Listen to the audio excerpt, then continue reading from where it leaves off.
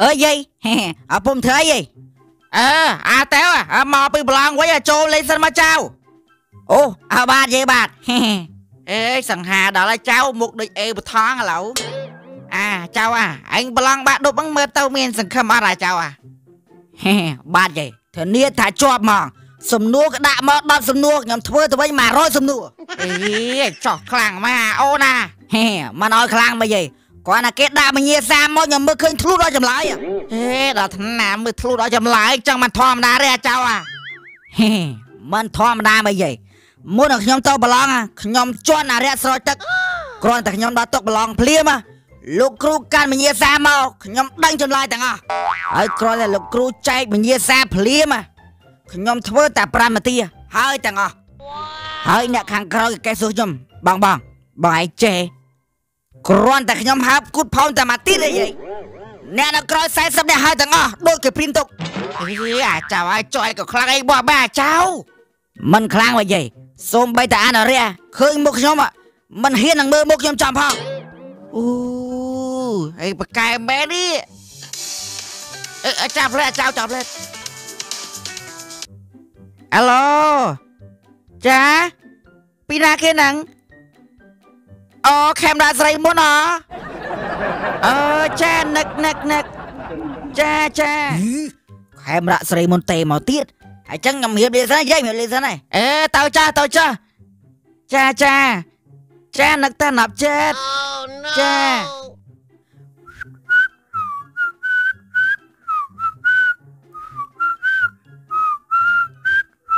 អូអាបាឌីហេហេ ហើយហៅខ្ញុំមានកែអឺអត់បានហៅផងចាំមិញគាត់អីហៅខ្ញុំមកចូលចាអីហៅកូនអីហូបបាយហ្នឹងអញ្ចឹងឥឡូវមកហូបបាយមកអីមកតេវមកអេសម័យនេះហើយនៅឡៃហូបបាយទៀត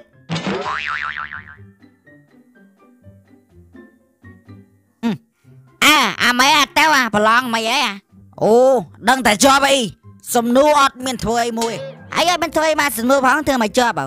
អូខ្ញុំច្រឡំអីមិនច្រឡំហ៎សំណួរក៏ដាក់មក100សំណួរខ្ញុំឆ្លើយទៅវិញ200សំណួរ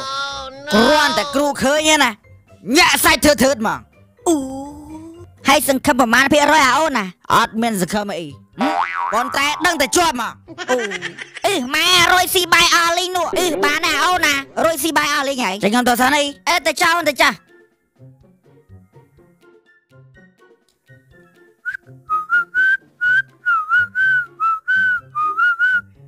អេពូស្គាល់និស្សិតអីពូ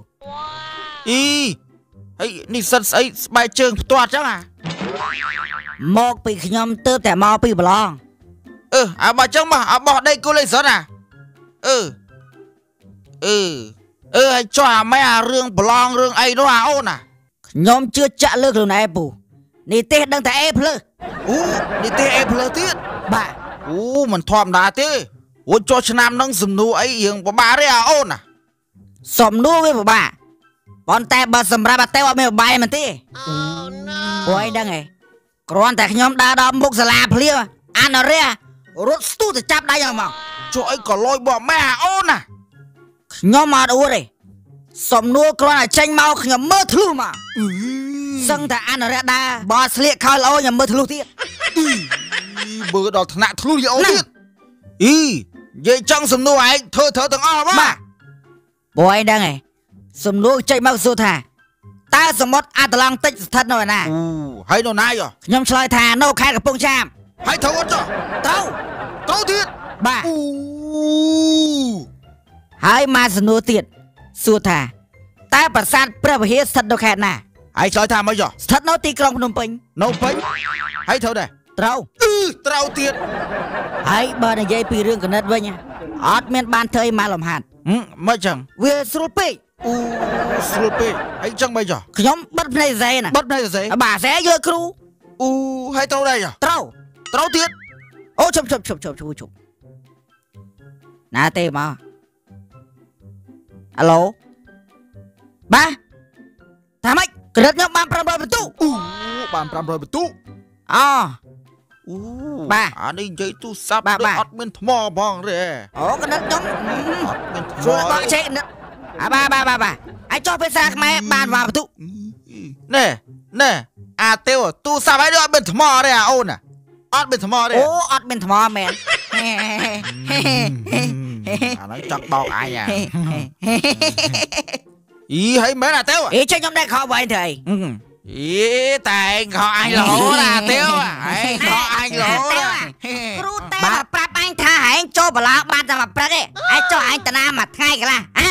កូនគេគ្រប់គ្នាគេប្រឡងតែ2ថ្ងៃសោះហើយឯងមកកុហកអញថាគ្រូប្រឡងមួយអាទិត្យដល់តែពេលគ្រូទេមកថាឃើញឯងប្រឡងតែមកព្រឹកឯងហើយម៉ែចេះជឿគ្រូយោមិនបាច់ចាំមកហៀបអមទេត្រាស់ទៅទៀតហ่ะហែងហែងអឺអាទេវបោកអញទៀតហើយឯង សាលាសិល្បៈបកាពេជ្របណ្ដុះបណ្ដាលជំនាញសិល្បៈកម្រិតអាជីព18ជំនាញមានដូចជាភ្លេងច្រៀងសម្ដែងនិង15ជំនាញផ្សេងទៀតផ្ដល់កន្លែងស្នាក់នៅនិងអាហារពីរពេលក្នុងមួយថ្ងៃសម្រាប់សិស្សមកពីខេត្តពេលកំពុងសិក្សាផ្ដល់ការងារជូនឲ្យធ្វើអាចទទួលប្រាក់ចំណូលចាប់ពី250ដុល្លារដល់1250ដុល្លារក្នុងមួយខែទូរស័ព្ទលេខ096 338 24 26និង097 655 1686បាកាពេជ្រជាសាលាសិល្បៈឯកជនដំបងបំផុត និងធំជាងគេបំផុត នៅរាជធានីភ្នំពេញ